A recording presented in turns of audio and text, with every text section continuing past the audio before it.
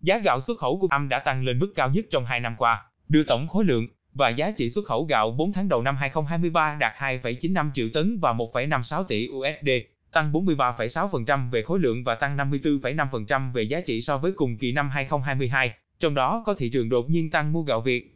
Theo bản tin của Viện Chính sách và Chiến lược Phát triển Nông nghiệp Nông thôn, tháng 4 năm 2023, giá gạo xuất khẩu của Việt Nam đã tăng lên mức cao nhất trong 2 năm qua. Trong khi đó, giá gạo Thái Lan và Ấn Độ đều có xu hướng tăng đến giữa tháng, sau đó quay đầu giảm về cuối tháng. Tại Việt Nam, giá gạo 5% tấm của Việt Nam được chào bán ở mức 495, 500 USD trên tấn, mức cao nhất kể từ tháng 4 năm 2021 và tăng 50 USD trên tấn so với một tháng trước. Hiện, việc thu hoạch vụ đông xuân, vụ lúa lớn nhất trong năm đã kết thúc. Các thương nhân cho biết, hiện tại nhu cầu đối với gạo Việt Nam vẫn mạnh, trong khi nguồn cung trong nước đang cạn kiệt. Tuy nhiên, với mức giá cao này, các nhà nhập khẩu bao gồm cả Philippines có thể sẽ mua chậm lại.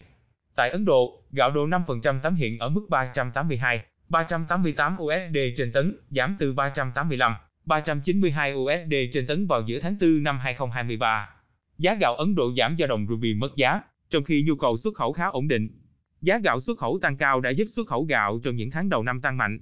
Theo số liệu thống kê, xuất khẩu gạo tháng 4 năm 2023 ước đạt 1,1 triệu tấn với giá trị 573,9 triệu USD, đưa tổng khối lượng và giá trị xuất khẩu gạo 4 tháng đầu năm 2023 đạt 2,95 triệu tấn và 1,56 tỷ USD, tăng 43,6% về khối lượng và tăng 54,5% về giá trị so với cùng kỳ năm 2022. Giá gạo xuất khẩu bình quân 4 tháng đầu năm 2023 ước đạt 526 USD trên tấn, tăng 7,6% so với cùng kỳ năm 2022. Trong 3 tháng đầu năm 2023, Philippines là thị trường tiêu thụ gạo lớn nhất của Việt Nam với 45,9% thị phần, đạt 893.300 tấn và 450,4 triệu USD, tăng 32,9% về khối lượng và tăng 44,8% về giá trị so với cùng kỳ năm 2022. Trong nhóm 15 thị trường xuất khẩu gạo lớn nhất của Việt Nam, thị trường có giá trị tăng mạnh nhất trong quý 1 đó là Indonesia, tăng gấp 177,4 lần.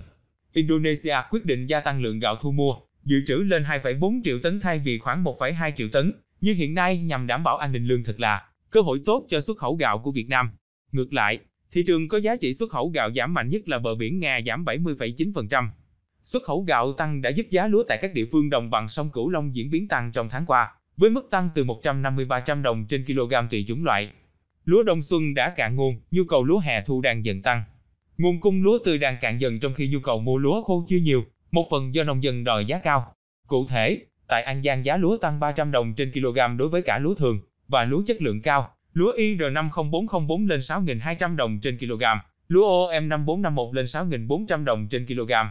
Tại Kiên Giang, lúa Đại thơm 8 tăng 150 đồng trên kg lên 6.600 đồng trên kg, trong khi lúa IR50404 giữ ở mức 6.150 đồng trên kg, lúa OM5451 ở mức 6.350 đồng trên kg. Tại Bạc Liêu, lúa Đại thơm 8 cũng tăng giá 250 đồng trên kg, từ 6.400 đồng trên kg lên 6.650 đồng trên kg. Lúa OM5451 ổn định ở mức 6.250 đồng trên kg. Lúa tài nguyên đã thu hoạch xong. Thị trường gạo các tỉnh miền Nam bình ổn, với giá gạo IR50404 tại Vĩnh Long giữ ở 13.000 đồng trên kg, gạo Jasmine 16.000 đồng trên kg, gạo IR50404 An Giang ở mức 11.500 đồng trên kg, gạo Jasmine 15.000 đồng trên kg. Gạo thơm Thái Lan tại thành phố Hồ Chí Minh ở mức 22.000 đồng trên kg, thơm Đài Loan tại thành phố Hồ Chí Minh và Vĩnh Long ổn định ở 24.000 đồng trên kg, bán lẻ và 19.000 đồng trên kg bán buôn. Gạo tẻ thường và gạo tài nguyên tại thị trường thành phố Hồ Chí Minh có giá 14.000 đồng trên kg và 20.000 đồng trên kg.